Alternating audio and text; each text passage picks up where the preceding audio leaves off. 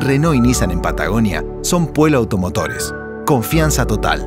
Diagonal Capraro, 1362.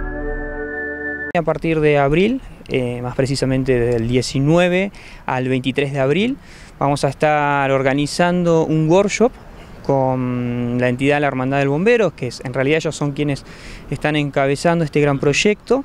Eh, se hace la colaboración con todos los cuarteles de la zona, desde Melipal, Dinahuapi, Campanario y Bomberos Bariloche Centro, trabajando en la organización. Eh, cabe destacar que venimos desde abril del año pasado trabajando, gestionando muchas cosas, eh, así que mucho trabajo para estas jornadas. ¿Y de qué consta el, workshop? ¿Qué es lo que va a suceder ahí?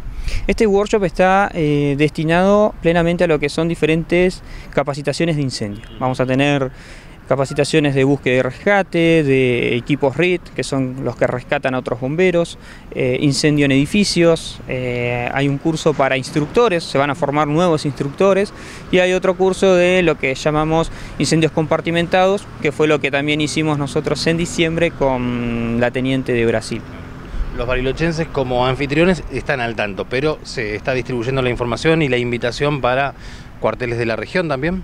Exactamente, nosotros hace un mes se les envió la, invitación a todos los cuarteles de la zona, San Martín, Villa, Bolsón, eh, para que también puedan acceder a, esta capacitación, que al, ser voluntario nuestro trabajo, eh, este tipo de eventos es muy importante porque todos podemos acceder a, este tipo de formaciones y con instructores de muy buena calidad.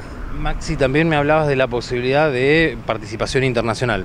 Exactamente, vamos a tener instructores de países limítrofes como Chile, Brasil, eh, otros grandes instructores también de, Argentina, eh, así también como la Hermandad de Bomberos no tiene fronteras, vamos a recibir participantes de otros lugares de Latinoamérica, así que es un evento muy importante, muy grande eh, que se va a estar eh, desarrollando en la ciudad. Bueno, agradecerle al Hotel Winit, que ya es la segunda vez que colabora con nosotros y esta vez en un evento tan grande, por poder recepcionar a todos los eh, participantes e instructores, no es para menos.